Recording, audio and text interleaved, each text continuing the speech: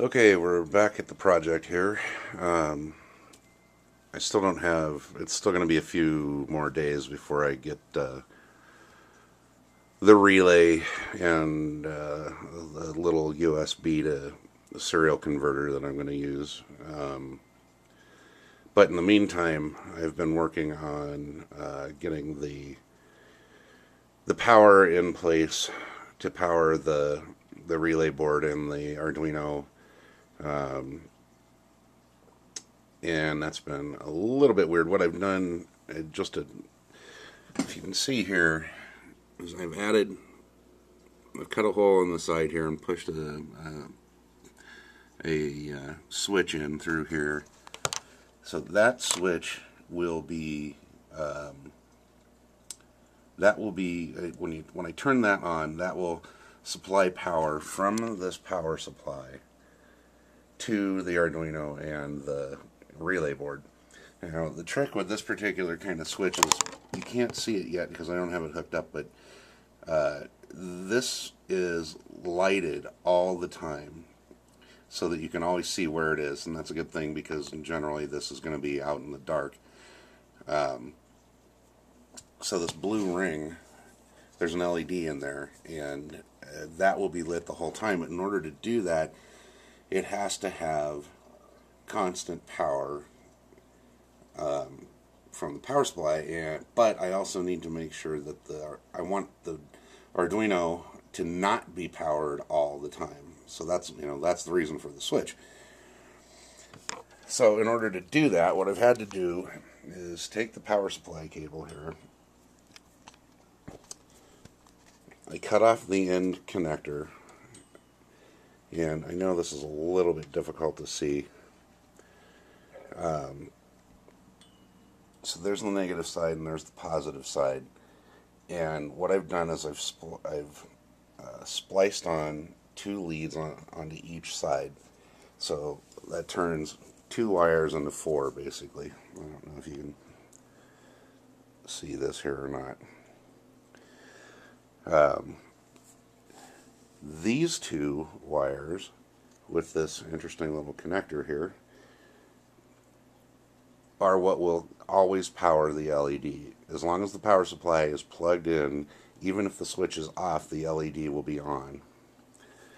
These two wires will actually run the power when the switch is turned on from the power supply to the Arduino and the relay board. Now, one thing about this is that these kinds of lighted switches, where the light is on all the time or supposed to be on all the time, they usually come with this little block attached to them. So there's a couple of wires that come off of the switch, off of the LEDs on the switch, and they go through this little circuit board that's in here, and they come out this side, and that is generally set to be, because the switch is designed to be used with 120 volt AC current, but what I'm supplying it is actually, oh, let's see what, 32 volt DC out of the power supply. What you do to make these work is you you unhook this box. Let's see if I've got it open here. Oh, let me get the screwdriver.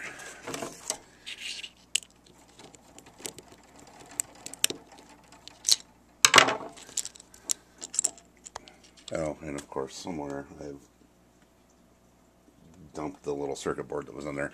At any rate, you take the screw when you get the when you get the switch, you take the screw out of the little box. There's a little circuit board in here. Um, you desolder the wires from the circuit board. And then in my case, if I was just supplying 12 volts DC, I could have used a 220 ohm resistor. But because I'm supplying um, 32 volts, what I've done, and you can't see it in here, is inside of here I've put a 620k resistor. What that does is limit the current running through the LED, and that's important because you'll burn it out. So I'm going to go ahead and uh, and then what happens here, I guess let me show you, is these two sides get connected in here. Let's see if I can do this without uh,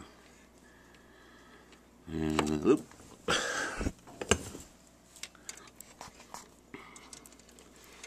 Alright. So, one of them goes over here.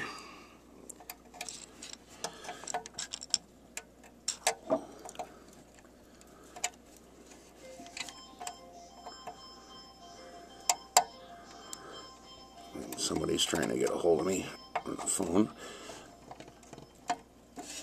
Okay. So that side's con that side's connected, and then this side.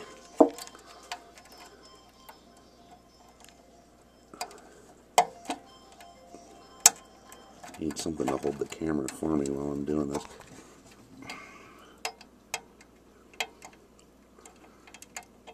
Come on.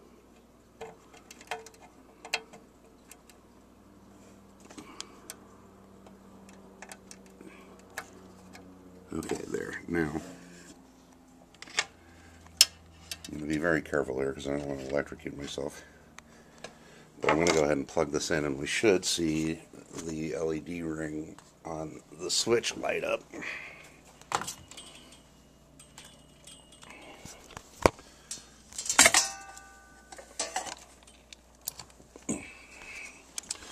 Yep.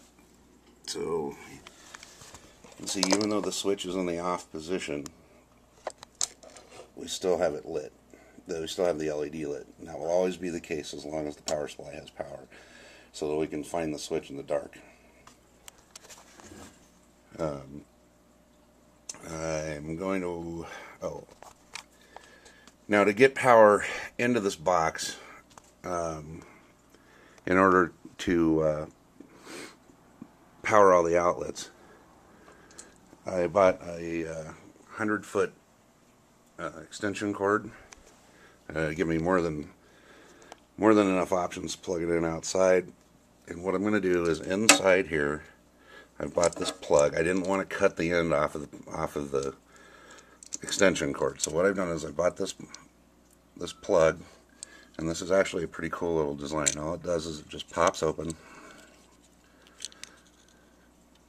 and we put the hot over here, the ground there, and the common there.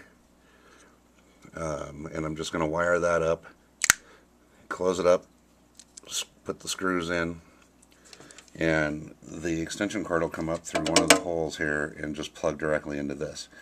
And then the wires from here will go into powering uh, the the different sockets and the and the and the boards. So that's it for now.